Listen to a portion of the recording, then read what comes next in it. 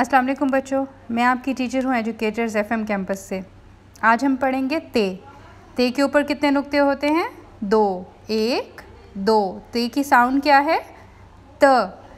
ते त तालाब, ते त तितली, ते त ताली। पाए हम इसकी कहानी पढ़ते हैं। अहमद ने शोर मचाया, देखो तालाब में बत्तख तैर रही है। देखें ये बतख है, ये अहमद है और ये तालाब है। बाग में तितलियाँ भी उड़ने लगी, पीना खुशी से ताली बजाने लगी। ठीक है? तेता, तालाब, तेता, तितली, तेता, ताली।